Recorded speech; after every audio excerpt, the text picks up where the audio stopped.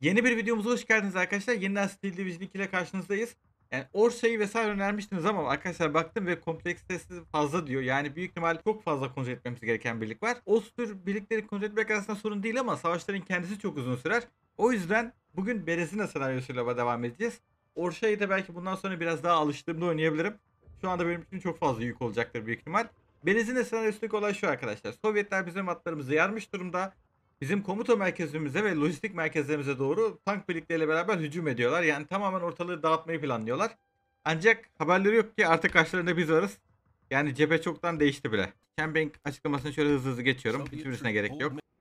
Minsk'i tut diyor. Kardeşim Minsk nerede? Sen bize göster. Bu arada direkt olarak savaşla başlamamız iyi değil aslında. Neyse arkadaşlar o zaman direkt olarak savaşla başlayalım ya. Sovyetlerle beraber başladı tur. Ben bizde başlar zannediyordum da. Madem Sovyetlerle başladı o zaman direkt şöyle bir Sovyetleri döverek başlayalım biz de. Hem de savunmadaymışız zaten. Amacımız Sovyet birliklerini olabildiğince tutmak olacak senaryoda. Bize çok fazla destek gelmeyecek anladığım kadarıyla. Ama sorun değil. Evet beyler birlikleri hazırladım. Şimdi buradaki ormanda hem küçük bir tane topumuz var. Bakın şuraya sakladım. Hem de etrafında piyadelerimiz var. Zaten buraya çok fazla yük olacağını düşünmüyorum. Hani gelseler de büyük ihtimal piyadelerle gelirler. Sonradan asker getirebiliriz buraya. Hatta bakayım şöyle bir birlik daha getirelim şimdiden. Bu kısım bu kısmısa kabus gibi olacak çünkü Sovyetlerin herhangi bir tankı yok. Motorize birlikleri var.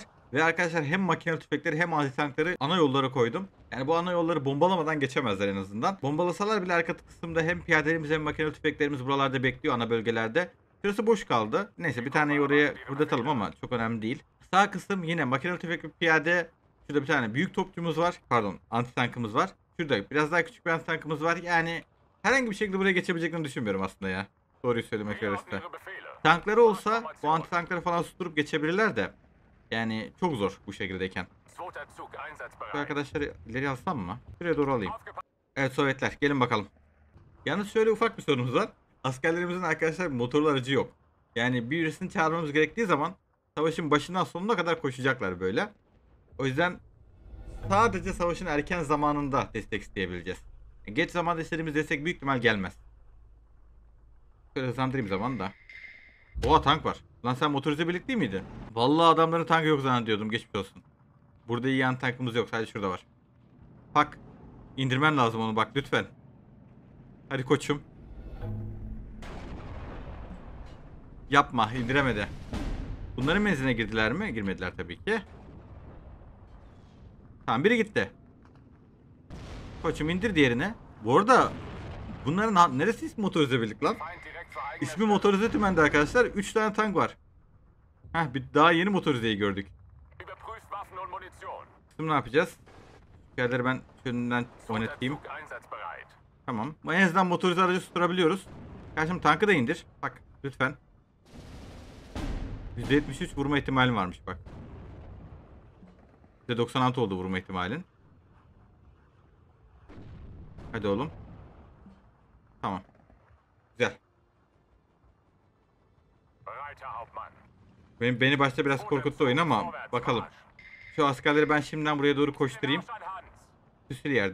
Onları geçsin. Siz gelin beyler. Yalnız antitank etmeyecek. Antitankı da şimdiden getireyim ama Tamam antitankın en azından aracı varmış. Güzel. Komutanın da aracı var. Bir tane de komutan çağıralım. Başka başka diğerlerinin aracı tabii ki yok. O zaman şu ortaya doğru koşun beyler. Kaybedersek diye. Güzel. Makine tüfek yukarıya doğru da ateş edebiliyor.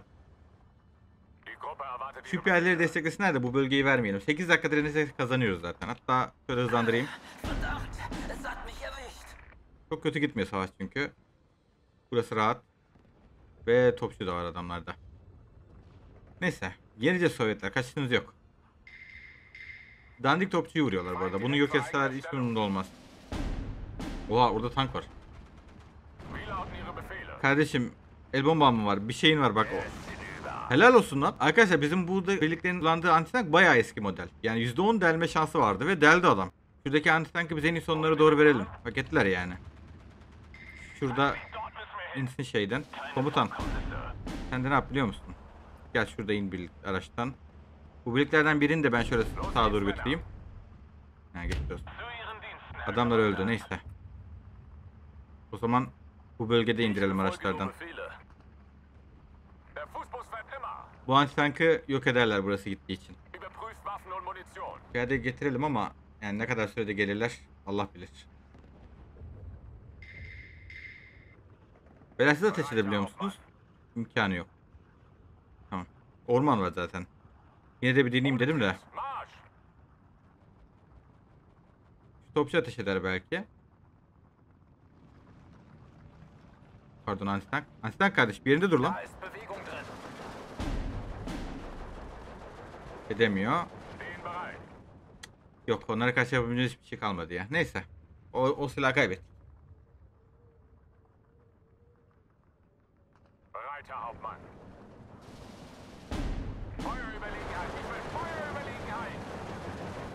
Şu komutan yardım etse bu birlik onları yenemez mi? Bence yener ya.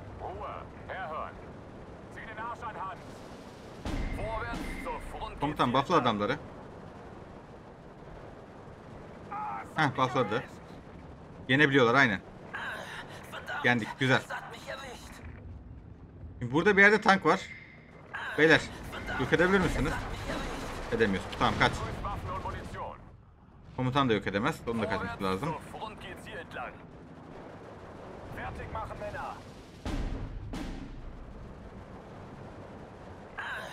Verdammt, es hat mich erwischt. Burası çökecek bu tank yüzünden ya. Bedeleri koşturayım diyeceğim de. Heh. Tam pakın önüne çıktılar. Pak indir onu. Çok güzel. Koçum benim. İyi ki getirmişiz var ya. Şimdi bu piyade biraz dövsün onları. Buradaki birliklerden birini ben yukarı doğru göndereyim. Burayı biraz destekleyelim.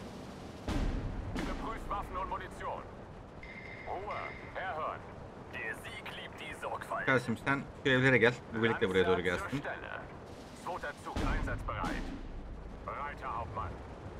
Güzel. Kurtardık burayı da. Feind gesichtet. Seid auf der Hut. Jawohl, Kommandant. Hand. Ich höre, Herr Hauptmann. Bir dakika kaldı sadece. Bu T-34 E modeliymiş bu arada. Bizim normalde savaştığımız daha güçlü olan T-34'ler değil. O yüzden bizim hani anti-tanklarımız işe yarıyor biraz. Şu eski model olanlar bile. GG easy. Vallahi easy değil aslında neyse. 3 kill almışlar biz 23 vurmuşuz. Güzel birliklerimiz geldi. Bu kısım felaket. Buraya acilen birlik getirmem lazım bir şekilde. Savunmada olan askerlerimiz var ama hani buranın önü bomboş. Bu birlikleri geriye çeksek diyeceğim. Şehre yetiştiremeyiz büyük ihtimal. Tamam. Şimdi ilk turumuzu aldık. 20 puanımız var. Kimi getirebiliyoruz? Minsk rezervi diyor. Minsk rezervi neresi? Sağ burası. Bu bölgelere asker getirmenin anlamı yok. Çünkü oraya kadar geri çekilmedik daha. Şuradaki güvenlik birliklerini ileriye getirip şurayı savunmam lazım benim bence. Burada bu hattı savunabilir miyiz? Öyle bir ihtimal var. Ama savunamazsak da şu nehri savunuruz. Tamam. Kardeşim sen de ne yap biliyor musun? Sen de kuzeye doğru git. Kardeşine yardım et. Bu polis tümeni baya kötü yerde. Bu polis tümenini paketleyip yok edebilirler. 5. panzer tümeni. Sen nereden başlıyorsun? Buradan. Bizim buraya asker götürmemiz çok zor olacak arkadaşlar. Şimdi o zaman şurada başlatayım Minsk rezervi dediği birliklere. Burada piyade var tamam. Piyadeler. Buraya doğru gitmeye başlayın.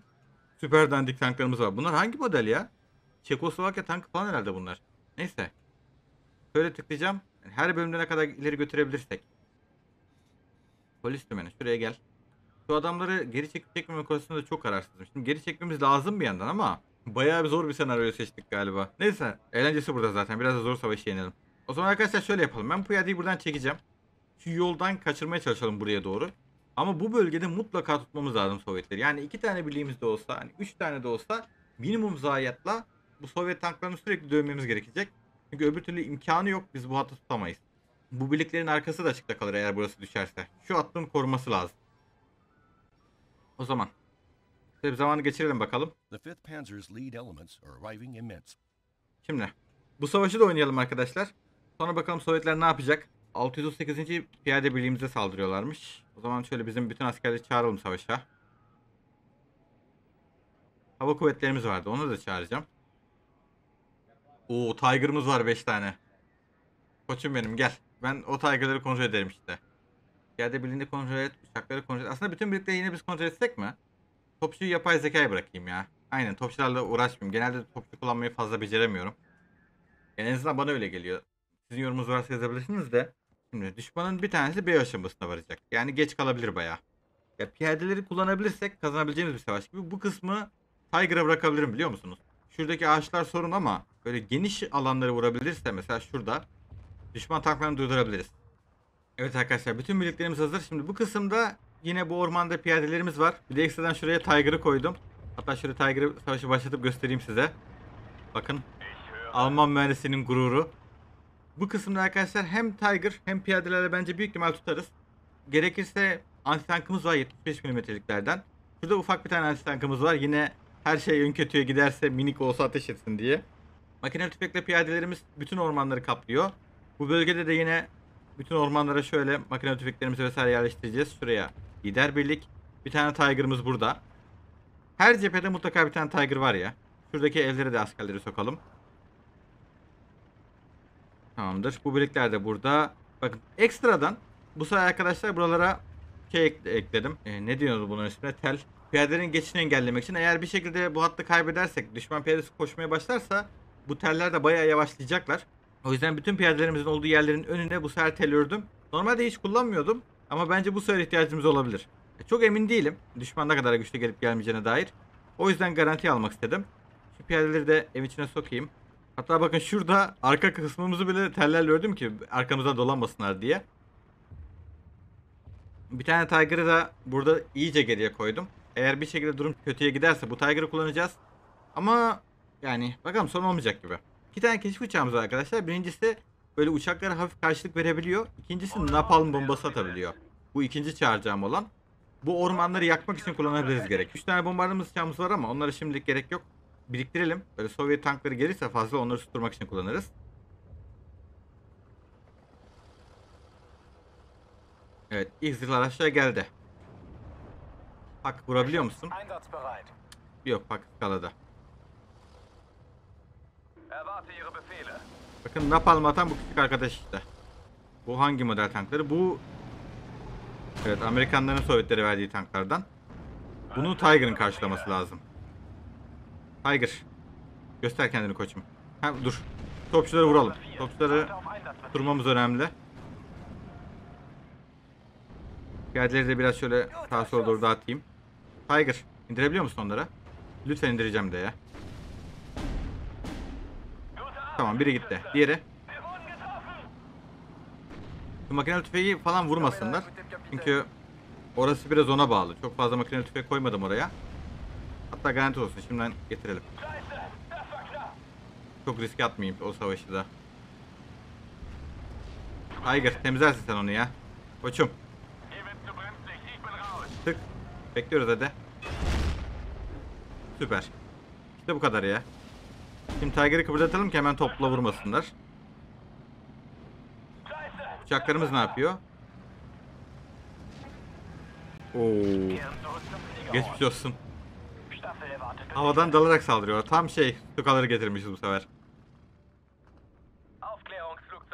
Bu tarafta düşman hava savunması var çünkü bizim uçağımız zarar almış. Tank var. Peki. Böyle yapsak. Tukalar. Size göre bir rakip var burada. Hatta ben sizden daha fazla getireyim. Bu düşmanları siz temizlersiniz. Leitstelle. Bereit zum Angriff. Burada bir yerde topçu var ama göremiyorum şu anda. Güzel yeni tanklar geliyor. Bu tankların hepsini susturalım ya. Gelecek savaşlarda yine can çıkartmasınlar bize. Tamam biri gitti. Şu bölgeyi alabilirim istesem. Zorlayalım mı? Zorlayalım biraz. Şöyle piyadeler koşsun bir yavaş yavaş. Nerede bu anti tank ya? Ha, iki tane var. Biri şurada. Kardeşim atabilecek misin sen? Atamayacaksın değil mi? Neyse kaç o zaman. Bu kısma uçak göndermek sorun olacak. Hiç denemeyelim onu. Başka çağırabileceğimiz bir Tiger var mı? Yok. Antitank çağıralım. Tiger kardeş. Şu. Şöyle gelsin biraz. Ya indir onu. Çok güzel. Başka var mı elimizde? Şu anda yok. Bir tane var ama çok yanlış yerde. Kardeşim sen gel şunu vur. O cehennemi geçemezler tank olmadıkça. Bizden Tiger vuruyor. Tiger. Hadi koçum. Bak arkadaşın indirdi. Sıra sende. Yapma be. Çektirme oğlum. Vur şunu. Yok delemedik gene. Bu arada %97 delme şansımız var ha. Ona rağmen iki vuruşla delemedik. Hadi üçüncüsü. Hele şükür. Şu Tiger'ı ben biraz şöyle sağa doğru alayım. Burayı vurabilsin. Bizim pak vuruyor ama biraz daha garanti olsun. Herr ıskalama lan. Bak sen de %72 delme şansın var. Evet %72 delmede delemiyoruz tabii ki. Yani benim şaşırmamam lazım bunlara da işte. Şöyle uçakları biz bir yığalım. Karşım sen onu saldır o zaman. Buraya göndermiyorduk uçakları. Bekleyelim biraz. Bak birini almış galiba. Geldiği bombalıyorlar. Yok, Pakt'ı bombalıyorlarmış. Pakt'ı hareket ettirebilir miyiz şu tarafa? Bir dene bakalım. Pack zur Stelle. Bak hadi lan bak %72 delme şansın var oğlum. Neden böyle bir şey yapıyorsun ya? Hele şükür. mehr. Rot 6. Kampfbereit. 10 tane vuruşta deleceğiz utanmasak. Tiger. Spitze 10 Uhr. Şu adamı tutursana. Ölmedi o ölmedi. Gel şöyle bir Tiger.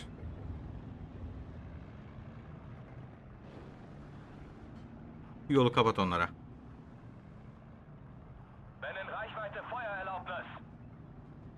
Hadi oğlum.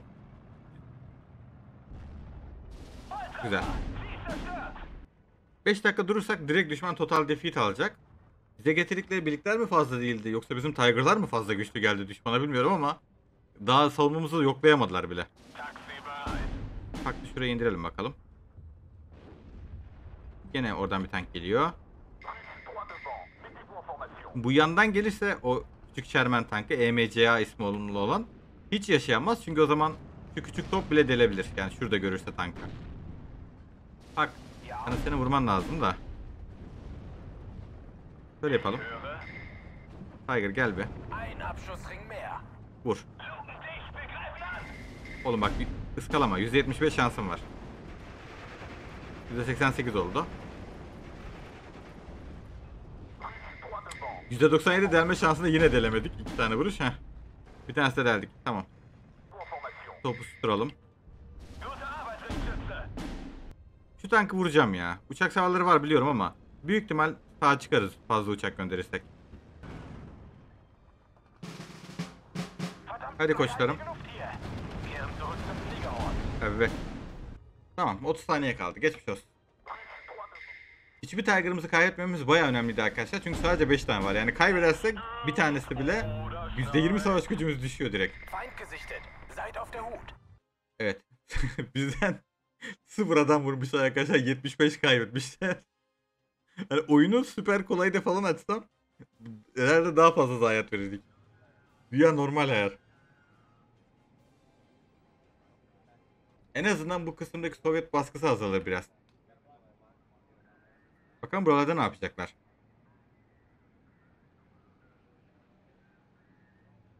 Tamam hafif sağa sola koşuyorlar. Saldırı yok. Şimdi şurayı da korumamız lazım. Çünkü burası da gene bizim askerlerin arkasına açıkta bırakır. Şu yoldan aşağı doğru inerlerse. Ve bizim gelemediğimiz bölge adamlar bizden önce geldi. Şuradaki savaşı mutlaka kazanmamız lazım arkadaşlar gelecek bölüm. Bu bölüm büyük ihtimal burada bitiririm. Bu askerleri yaklaştırırız oraya. Ama gelecek bölüm şu savaşı %100 yenmemiz lazım. Burayı kaybedersek hem bu birlik gider hem bu bütün yol adamları açılır. O yüzden şöyle birlikleri şimdi hemen hareket ettireyim ben. Bayağı uzaklar ama işte ne kadar yaklaşırlarsa. Burada hiç kimseyi bırakmayacak mıyız? Hmm. Bir birlik bırakmak lazım ama neyse yeni birileri gelir. 5. panzer tümünden birilerini getirebiliyor muyuz? Getiremiyoruz. Bu kadar birlikte kaldık yine arkadaşlar. O zaman ben bu bölümü de bitireyim. Sizin herhangi bir öneriniz var mı? Yani farklı bir strateji öneriniz varsa atıyorum burayı terk et ya da daha geriye çekil gibi yazabilirsiniz. Çünkü görev büyük ihtimal sadece Minsk'i ve şurayı tutmak. Yani buralarda savunma yapmasak da olabilir. Ama beni biliyorsunuz Sovyetlere toprak vermek istemiyorum o yüzden. O zaman bir sonraki videomuzda görüşmek üzere. Ayrıca şu anda ismini görmüş olduğunuz kanalımızdaki videoların oluşturulmasına destek sağlayan üyelerimize teşekkür ederim. İsterseniz siz de videoyu beğenerek ya da yorum yaparak bize destek olabilirsiniz. Gelecek videomuzda görüşmek üzere.